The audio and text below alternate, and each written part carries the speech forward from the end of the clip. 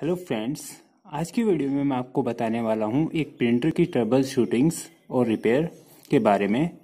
जैसे कि आप देख रहे हैं कि एप्सन के प्रिंटर में कोई भी मॉडल हो एल तीन सौ अस्सी हो एल तीन सौ साठ हो एल एक सौ बीस हो, उनमें ये लाइट आप देख रहे हैं रेड वाली लाइट बार बार ब्लिंकिंग कर रही है कंटिन्यू ये ब्लिंकिंग करेगी प्रिंट नहीं देगा। तो इसके बारे में आज मैं आपको बताने वाला हूँ कि इस प्रॉब्लम को हम कैसे सोल्व कर सकते हैं।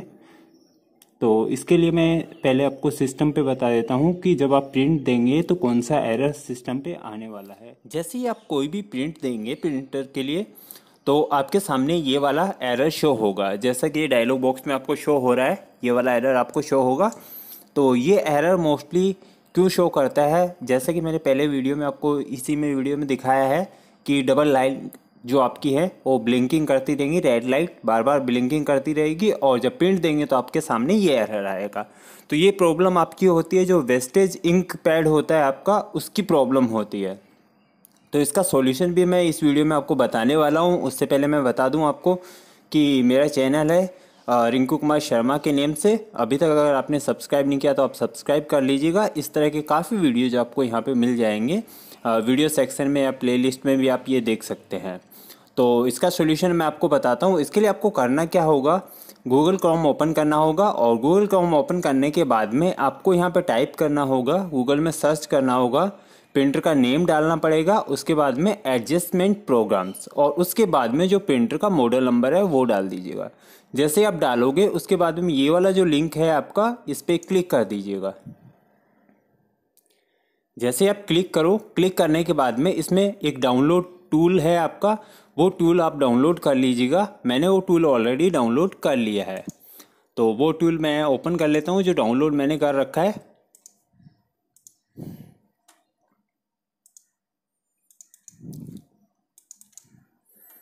देखिए ये जिप फ़ाइल है। आ, इसको आप अनजिप कर लीजिएगा पहले। तो मैंने यहाँ पे अनजिप भी कर रखा है। और ये प्रोसेस करने से पहले आप एक चीज़ का ध्यान रखना कि अगर आपके सिस्टम में कोई एंटीवायरस है तो आप उसे डिसेबल कर दीजिएगा। और इसको ओपन किया मैंने। ओपन करने के बाद में सबसे पहले आपको क्या करना है? सेलेक्ट रन मी फ़ाइल जो रन मी फ़ाइल है इसको सेलेक्ट करना है आपको। और यहाँ पे राइट क्लिक करके रन एज एडमिनिस्ट्रेटर पे क्लिक करना है आपको। फिर यस कर देना है आपको।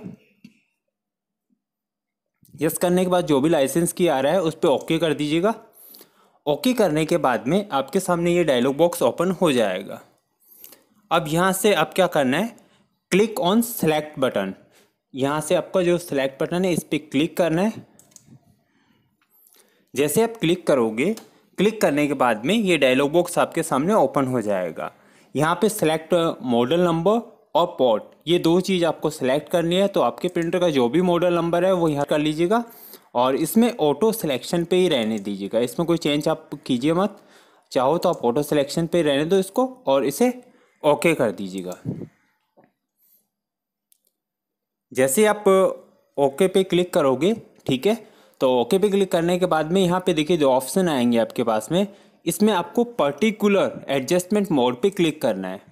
यहाँ पे क्लिक करने के बाद में दोबारा बॉक्स ओपन हो जाएगा। इसमें आपको क्या करना है? Select waste ink pad counter आपको फाइंड करना है वेस्ट जैसे ये वाला आपका शो हो रहा है यहाँ पे। वेस्ट इंक पैड काउंटर इस पर क्लिक करेंगे और क्लिक करने के बाद में इसको आप ओके कर दीजिएगा। जैसे आप ओके करोगे नेक्स्ट आपके सामने ये डायलॉग बॉक्स ओपन होगा। यहाँ पे आपको क्या करना है? मैन पैड काउंटर पे चेक लगाना है या क्लिक करना है। इस पर क्लिक करने के बाद आप इसको एक बार चेक करना चाहें तो आप चेक पे क्लिक कर दीजिए और चेक कर सकते हैं। जैसे कि आप देख रहे हैं वेस्टिंग पैड काउंटर थोड़ा सा हो सकता है इसमें टाइम लगे आपको बट इस कंडीशन में आपका प्रिंटर ऑन होना चाहिए।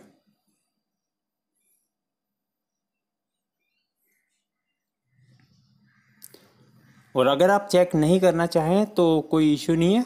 आप सीधा एंटीलाइज पे क्लिक कर दीजिएगा।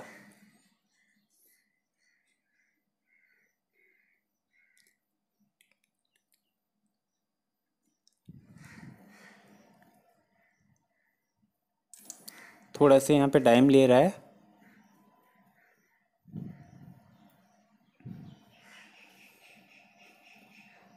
जब तक ये प्रोसेस ना हो, आप थोड़ा वेट करें।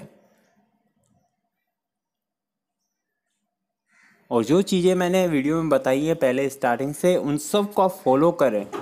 कंटिन्यूस फॉलो करते जाएँ।